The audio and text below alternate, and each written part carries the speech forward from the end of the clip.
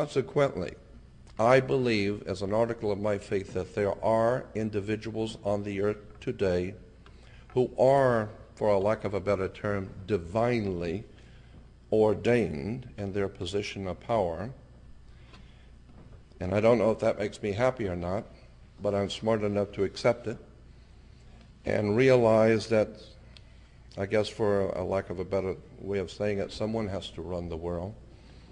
And if they are here and they have come here from another place and another time, um, they have extraordinary wisdom, power, and knowledge.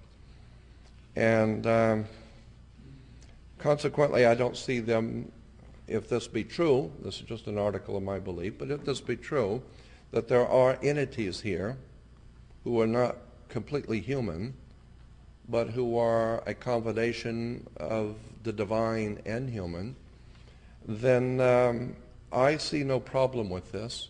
I accept that there are powers over us. And um, I think that they uh, will reward you for your diligence and your intelligence. If you intend to be stupid, then let them.